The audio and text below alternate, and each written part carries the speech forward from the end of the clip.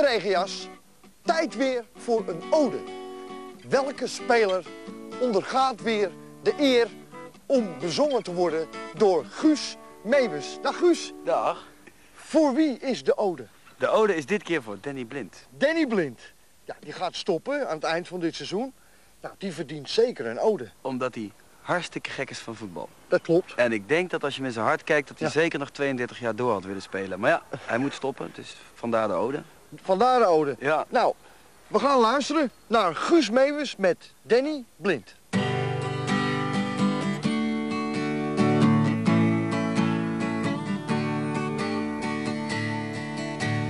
Een sportman neemt wat gas terug als hij dertig is geweest. Dat geldt niet voor Danny Blind, voor hem begon toen echt het feest.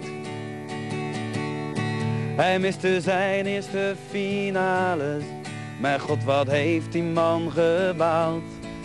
Maar hij heeft de schade later dubbel en dwars weer ingehaald.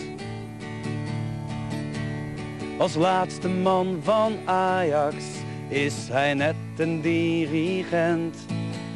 De sluwe, slimme captain, die de voetbalwetten kent. Zijn hoogtepunten wereldbeker, hij zou daar de beste zijn. Als de man of de match, en met de cup op het museumplein. Na een lange loopbaan is nu het einde dan in zicht.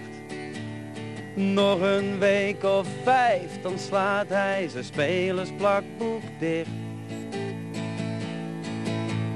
Een boek vol hoogtepunten, waar hij nog vaak in kijken zal.